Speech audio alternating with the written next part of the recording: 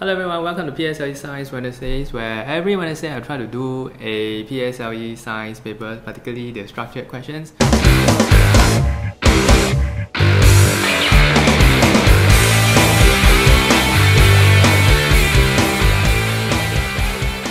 Science, I can't really find any heuristics or any special um, patterns, you know, but uh, I think it's a lot of uh, imagination, a lot of uh, uh, exposure to different types of questions and therefore from there you will be able to know exactly what to do. Okay. So this is our very first question. This is from the PSLE booklet. Once again, this is the book I use all the time. Okay, I hope you can see this. Right, this is the book you can buy from any popular bookshop. Okay, it's available. So let's take a look. So the first one, um, this is a the diagram shows this uh, insect P and flower Q. So insect P feeds on bees and butterflies and is often found sitting on flower Q. So I explain how looking like parts of flower Q is an advantage to insect P. Now uh, this really does look a little bit like flower Q. Okay, so this question is about adaptation and um, actually it's more of uh, this this uh, camouflage. Okay. So looking like flower Q will be an advantage for insect because he will be able to camouflage and his predators okay, will not be able to find out or will not be able to find it and therefore he will be able to escape and survive. Okay, so that is how looking like parts of flower Q is an advantage to insect P. Okay, so we're just going to write it down. Uh, so explain how insect P sitting on flower Q is a disadvantage to flower Q. Ah, okay. Now why is it bad? Because uh, let, let's try to explain. Now what do flowers do? They need insects to come and pollinate, right? So if the insect doesn't come to pollinate the flower, uh, that means the insect will not, I mean the flower will not be able to reproduce because we need the pollen grains to travel from one flower to another. Now imagine there's this insect P over there. Every time a bee comes by or a you know, butterfly comes by, and then it's, instead of getting a flower, it gets a insect P. Okay, uh, it's going to scare the insect, the, the, the, the butterfly away. Okay, insect P is going to scare the butterfly away. And when that happens, the flower Q will not be able to pollinate and therefore cannot reproduce. Okay, that's how it works. Uh, we're going to look at the next question. So this next question is about the polar bear. Okay, I'm just going to try and go through questions with, with some diagrams, right? So I can see what's going on. I mean, we can animate stuff. Okay, so polar bears are mammals. They swim in the sea to look for food. After some time, they need to get out of water to breathe and rest on the ice before entering the water again. So uh, we see eyes on the surface, some cute little fish in the eyes. Okay, see cute little fish here, and the polar bear is right here. So give a reason why polar bears cannot breathe underwater. Uh, okay, so they can't breathe underwater because they do not have gills. Uh, so in P6 science we study that only you know animals with gills like fish can breathe underwater, and polar bears have lungs, so they cannot breathe underwater. Clearly, okay. So unless they have gills, then they can breathe underwater. So the reason is because they do not have gills to enable them to breathe underwater. What are the two forces acting on the polar bear as it walks on the ice? Now, um, there are two of them, right? One is the gravitational force that's going downwards, and then there is friction. Friction because it's walking on ice, right? So in terms of the, um, you know, it's walking on ice, right? As long as there's movement, there's going to be friction. Next. Due to global warming, the ice on the surface decreases in size as shown. Uh, so if it's cold, the ice is big. If it's warm, the ice is small. Uh, as you can see over here.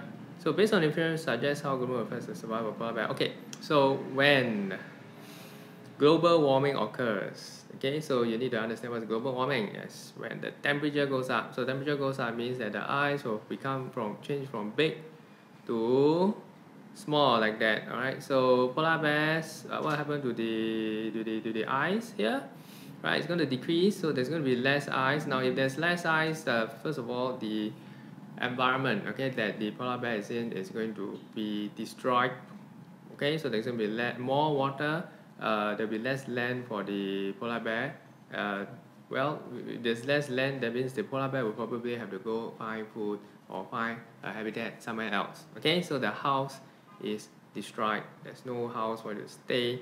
And therefore, polar bears are not going to survive. They gotta learn how to swim. If not, you know, they're gonna be in the water and they don't have gills, remember? So because they don't have gills, they cannot survive. They'll die. Okay, next. I'm gonna find those with pictures. Okay, Mary has a pot of water with a layer of oil as shown. Based on what you can observe, state a physical property of oil. So the physical property of oil, first thing comes to my mind is density because it's floating on top of water. You can see it's floating? Yeah, it's floating on top of water. So what is freezing? Freezing is the changing from liquid to solid state. What can you tell about the melting point of oil? Um, put the spot in the refrigerator which is at a temperature of 4. After a few hours, the oil froze and Mary removed it easily from the water. Ah, the oil from, okay. So the melting point of oil is higher than water. Okay, because the melting point of water is 0 degrees Celsius, but oil freezes at 4, around 4 degrees Celsius. Okay, and Mary removed it easily from water. That means she was able to pick it up. Okay, to take it out of the water. Next. Okay, so we got this uh, Zhiming very interesting name to use, okay? If you are in MOE, you know what I mean. So Zhiming set up the apparatus below to investigate how his toy car can move on its own along a plastic track from A down to B up to C before leaving at D. C is a fixed height above B. So C is here, right? So when Zhiming released the car, it moved past B but was not able to reach C. Explain why. Now, it has got to do with energy. So when the toy car is at this point of time, at, at this part of the, um, uh, the, the, the, the whole setup, it possesses gravitational potential energy. So, but the gravitational potential energy is not enough to reach this height. Why? Because as it's moving downwards, it loses the gravitational potential energy to, uh, uh, I mean, it is converted to kinetic energy, and then a lot of it is being lost. So, so it can probably come up to here right? But it cannot go past that because it needs more energy. So the first one is not able to reach C because there's not enough uh, potential energy to uh, convert it to kinetic energy so that it can reach C so without using different apparatus and additional materials suggest two ways to help the car C so number one it can be higher. Okay give it more gravitational potential energy put it higher. Or make this one lower. Don't put oil okay? Zhiming don't put oil huh? next state the main form of energy that car C will have at C uh, the main form of energy here would be gravitational potential energy. Why? Because it's high up okay there's a above the ground next one well done, Zhiming. Okay, next, Lila places a magnet on top of a balance as shown. What object? Okay, she brought object A close. What? She brought object A close to the magnet as shown in diagram 2.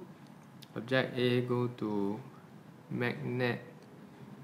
Ah, okay, and then we observe at first it's 60 gram, then after that it became 68 gram. That means there's an increase in the weight. Now the only way for the weight to increase is because there's repulsion here. That means object A is repelling the magnet.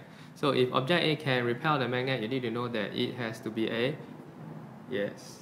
Next, explain why the reading increased in diagram 2. So the reading increased because there's a repulsion force. There's a force pushing the magnet down. So therefore this increased. Okay, therefore this increased. So there is a force pushing it down. Next. Now, I'm not to waste time typing, right? So I'll just go through as fast as possible. Uh, so Leela replaced object A with an iron bar of the same size and setup. Uh, so aeroplane. Every day we get aeroplanes flying right.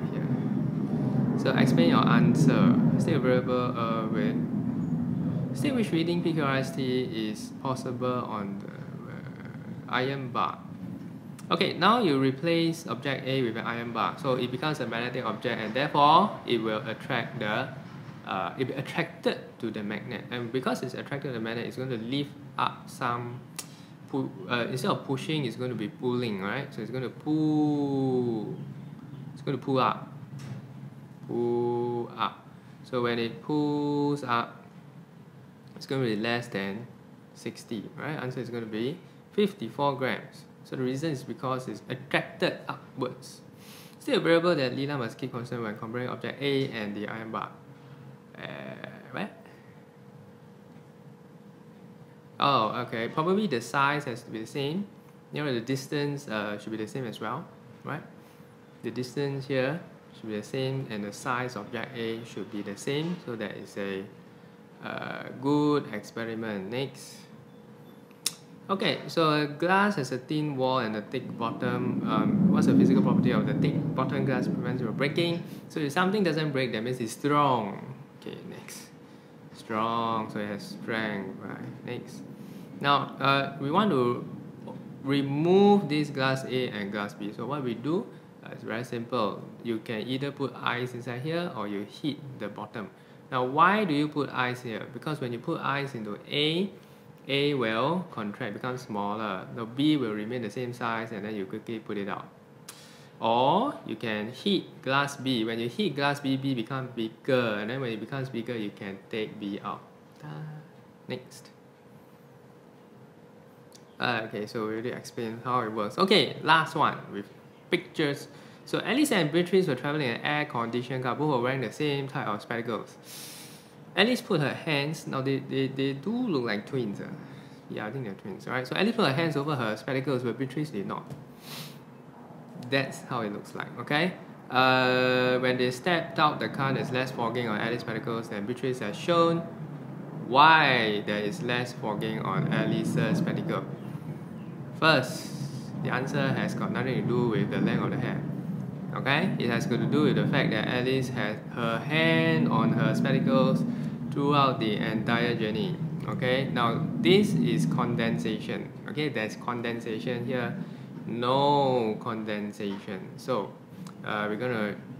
So what happens is that when Alice put her hand over her spectacles throughout the entire journey, the spectacles is warmer than Beatrice's spectacle. So when that happens, um, uh, so so Alice's spectacle is warmer than Beatrice's spectacle. So when they step out of the car, warm air will come into contact with the cooler surface of Beatrice's spectacle and condense. Whereas the warm water vapor, sorry, warm water vapor, right, is going to come to the cold cooler surface of Beatrice's spectacle and it's going to condense whereas on Alice's spectacle which has got higher temperature than Beatrice's spectacle is not going to condense so much or rather there is less condensation because the warm water vapor does not lose heat. Over here the warm water vapor lose heat. Alright, so we get condensation and Beatrice has got a fooked spectacle. Why does spectacles clear after some time? Ah, because the uh, spectacles gain heat. Okay, Beatrice's spectacle gain heat after some time because she's no longer in the aircon and therefore no more condensation. And that's the end of the paper. Okay, it's 11 minutes. Okay, so I'm just going through a few, uh, those that I find quite interesting. You know, change your format here. Hope you like it. Okay, so continue to uh, support our channel, uh, look at our YouTube videos. Okay. Uh, and uh, as, as, as I mentioned in the math uh, video, what we have done is we are putting everything into these learning units. Okay, so you can access them when you join the group somewhere. Right, we're going to put them somewhere. So this is Mr. Teng from Ace Scorers. Hope to see you soon.